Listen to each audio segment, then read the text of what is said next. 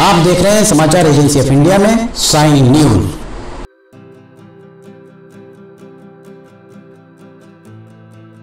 नमस्कार दोस्तों, समाचार एजेंसी ऑफ़ इंडिया की साई न्यूज़ में लिमटी की लालटेन के एक एपिसोड में आपका स्वागत है। आज हम जिस बारे में बात कर रहे हैं, उसके पहले हम आपको बता दें कि लिमटी की लालटेन अब हर रात आठ बजे आप देख सकते हैं। आज हम बात करते हैं एक ऐसी फ़िल्म के बारे में, जिस फ़िल्म के को लेकर अभी चर्चाओं का बाज़ार ज़बरदस्त तरीके से गर्म है। इन दिनों अनुपम खेर, मिथुन चक्रवर्ती, पुनीत स्तर जैसे मेगा स्टार्स के साथ बनी फ़िल्म, द कश्मीर फाइल्स की चर्चाएँ जमकर चल रही हैं। देश के सिनेमा के इतिहास में पहली फ़िल्म होगी जिसका प्रमोशन स्टार्स नहीं, उसमें काम करने वाले जो कलाकार, अदाकार नहीं, बल्कि जनता खुद करती नज़र आ रही है। इतिहास के पन्नों में अगर इस तरह की दर्द भरी घटनाएँ दम तोड़ चुकी हैं, जिन्होंने इंसानियत और समाज दोनों को जमकर शर्मसार किया है, यहाँ शर्मसार कहना अकेला पर्याप्त नहीं होगा। वरन ये कहा जाए कि इस तरह की घटनाओं ने इस तरह के ऐसे जख्म दिए हैं जो ऊपर से तो भरे नज़र आते हैं, पर अंदर ही अंदर वे आज भी हरे माने जा सकते हैं। देश के अभिन्न अंग कश्मीर में अल्पसंख्यक हिंदू पंडितों के पलायन के बारे में यदा कदा आपने सुना, पढ़ा, ज़रूर होगा, देखा भी होगा। किंतु उनके पलायन के पीछे इस तरह की दुर्दशा छिपी हुई है, जो अब तक हुक्मरान जो भी सत्ताधारी रहे हैं, उन्होंने जनता के सामने लाने से इसे गुरेज ही किया है। द कश्मीर फ़ाइल सहित कमोबेश, हर एक फ़िल्म में डिस्क्लेमर अर्थात इनकार या वशीकरण लिखा होता है कि जिसका अर्थ यही होता है कि ये एक काल्पनिक कथा पर, कहानी पर आधारित है और इसका हकीकत से कोई लेना देना नहीं है। इसके बाद भी द कश्मीर फाइल्स को देखने के बाद, लोगों की प्रतिक्रियाएँ देखने, सुनने के बाद आप स्वयं फैसला कर सकते हैं कि ये कथा काल्पनिक है अथवा हकीकत। द कश्मीर फाइल्स आपको भावनात्मक रूप से झचकोर भी सकती है। झचकोरती नज़र आती है। कश्मीर में रहने वाले पंडित इस तरह पंडितों पर हुए आला दर्जे के जुल्म को चलचित्र अर्थात सिनेमा में कहीं ना कहीं रेखांकित तो बेहतर तरीके से किया गया है। 11 मार्च को द कश्मीर फाइल्स, महज 700 स्क्रीन्स पर रिलीज़ हुई इसके, इस फ़िल्म के बारे में। देश भर के मित्रों, रिश्ते, नातेदारों से चर्चा के बाद एक बात तो आईने की तरह साफ़ हो गई, हमने कई लोगों से चर्चा करी। लो, रोज़ ही इस बारे में चर्चा हो रही है। ये बात बिल्कुल स्पष्ट हो गई कि इस फ़िल्म को जब कर लोग सराह रहे हैं, कुछ मित्रों ने यहाँ तक भी बताया कि उन्होंने 10 से 15 बरस हो गए हैं। सिनेमा घर में, थिएटर में जाकर फ़िल्म नहीं देखी। पर इस फ़िल्म के बारे में जिस तरह की कैंपेनिंग जनता के द्वारा खुद ही की जा रही है, जनता के द्वारा खुद की जाने वाली कैंपेनिंग जो उन्होंने देखा और सुना, उसके बाद वे अपने आप को रोक नहीं पाए इस फ़िल्म को देखने से। या ये कहा जाए कि इसके बाद फ़िल्म देखना उनकी मजबूरी बनकर रह गई थी। लोगों का कहना यहाँ तक भी था कि इस फ़िल्म को देखने के बाद पैसा वसूल हो गया है। ये कहा जाए तो अतिशोक्ति नहीं होगी। इसके पहले कश्मीर पंडितों के, कश्मीरी पंडितों के पलायन और कमोवेश इसी तरह की त्रासदी को लेकर विधु विनोद चौपड़ा के द्वारा शिकारा नाम की एक फ़िल्म बनाई गई थी। पर उस फ़िल्म में कश्मीरी पंडितों के साथ हुए अन्याय पर ज़्यादा फोकस नहीं होने के कारण उस फ़िल्म को आलोचना का शिकार भी होना पड़ा था। दरअसल, आपने जिस जगह जन्म लिया है, आपका जहाँ बचपन बीता है, जो गलियाँ आपके बचपन से जवानी तक की साक्षी रही हों, उन गलियों को आपको अगर सदा के लिए छोड़ना पड़े तो आप कैसा महसूस करेंगे? समझा जा सकता है। अगर आपको अपने ही देश में रिफ्यूज़ी अर्थात शरणार्थी की तरह ज़िंदगी बसर करनी पड़े तो इसे आप क्या कहेंगे? ये सारी चीज़ें शब्दों में बयां करना बहुत आसान माना जा सकता है, पर इस सबको सहन करना कितना कष्टकारी रहा होगा। ये बात सोचकर ही आपकी रीढ़ की हड्डी में सेहरन भी पैदा हो सकती है, जो कुछ कश्मीरी पंडितों के साथ हुआ। सत्तर अस्सी के दशक में।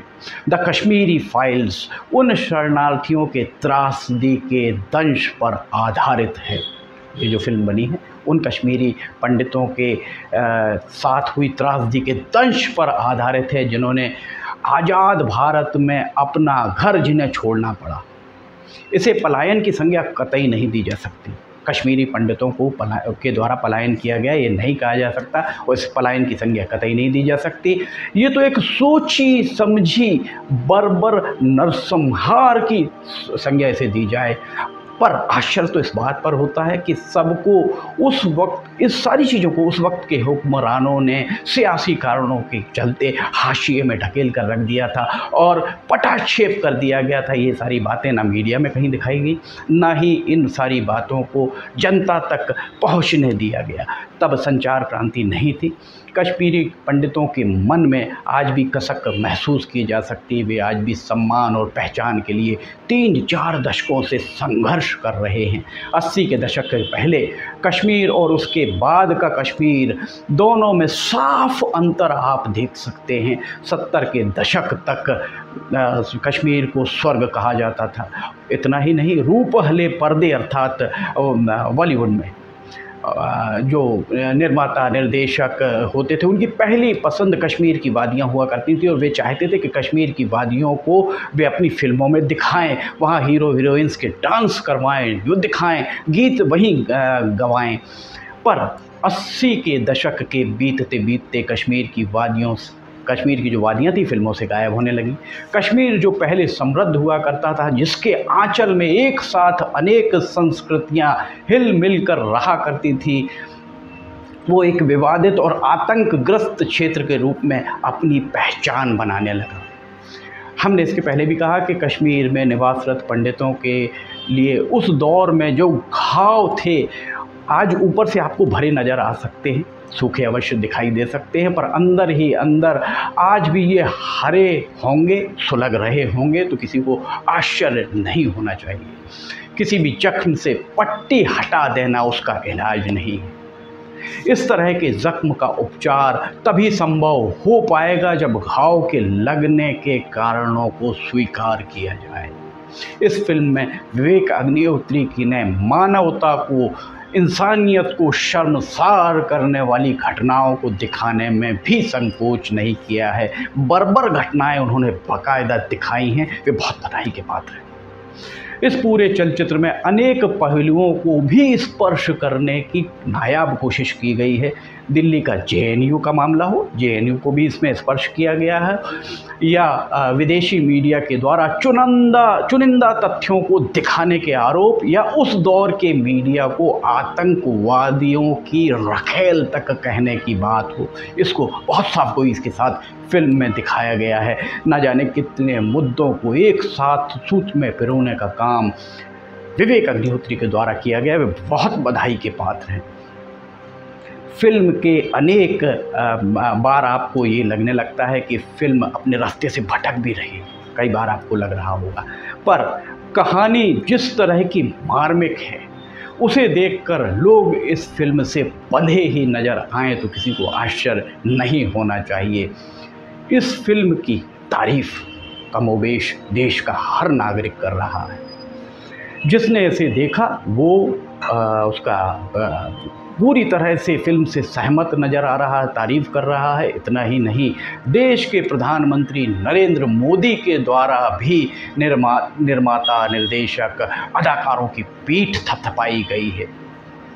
इस फ़िल्म का जादू लोगों के सर चढ़कर बोल रहा है इस बात से इनकार नहीं किया जा सकता। या ये कहा जाए तो अतिशयोक्ति नहीं होगी कि कश्मीरी पंडितों के साथ जो बर्बर सलूक पर बनी ये फ़िल्म, द कश्मीर फाइल्स, बिना किसी प्रमोशन के, जनता के द्वारा दिए गए प्रमोशन के बाद बॉक्स ऑफ़िस पर दहाड़ रही है।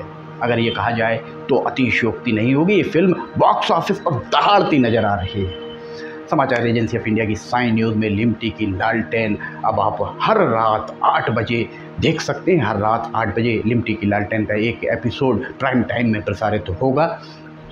आप अभी कोरोना काल चल रहा है, कोविड अभी गया नहीं है, इसलिए जो प्रोटोकॉल्स दिए गए हैं, उनका आप पालन करें। आप समाचार एजेंसी ऑफ़ इंडिया की वेबसाइट या चैनल पर जाकर रात आठ बजे लिमटी की लालटेन देखना ना भूलिए। अगर आपको लिमटी की लालटेन पसंद आ रही हो तो आप इसे लाइक, सब्सक्राइब और शेयर ज़रूर कीजिए। लिमटी की लालटेन का एक एपिसोड लेकर हम बहुत जल्दी हाजिर होंगे।